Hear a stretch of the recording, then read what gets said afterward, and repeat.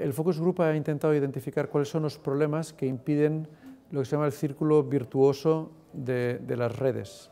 que sería, eh, por un lado, problemas de acceso de mercado, por otro lado serían problemas de cibercrimen, que cada vez están más extendidos, problemas de interoperabilidad de distintos modelos,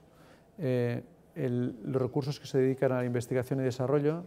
el analfabetismo digital, por llamarlo así, es decir, gente que por falta de conocimientos no puede acceder a la red, problemas de inversión en infraestructuras y luego hemos hablado un poco de oportunidades perdidas en el ámbito eh, de negocio dentro de Internet. Cosas que podríamos hacer mucho más baratas y mucho mejor, pero que no las hacemos por problemas que existen en el desarrollo de las redes. Bueno, primero eh, me llevó una, una, impresión muy, muy grata del nivel de creatividad y del nivel de innovación que hay entre la juventud eh, europea y de las cosas impresionantes que se hacen.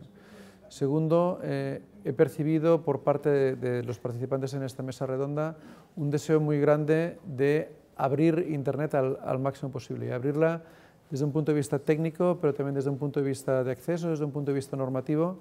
es decir, el intentar regular eh, el mínimo para que Internet pueda llegar al máximo de gente posible.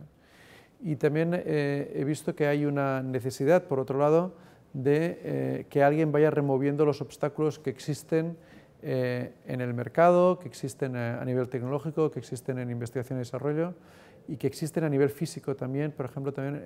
en, la instalación de, fibra óptica. Eh, muchas de las personas que han participado consideran que el acceso a las redes a alta velocidad tendría que ser un derecho público y las instituciones públicas de alguna manera tendríamos que garantizar este derecho. Este es el principal mensaje que me llevo conmigo. Bueno, desde luego que nuestras puertas están abiertas, que eh, aunque sea una tecnología que por lo que he visto aquí ya es bastante antigua, tenemos una dirección email y una página web donde ellos pueden aportar sus, ideas, que en principio todas las ideas que nos aporten las atenderemos eh, y, que, estamos abiertos, estamos para serviros, o sea que eh, cualquier cosa que podamos hacer que nos lo hagáis saber e intentaremos ponerla en práctica.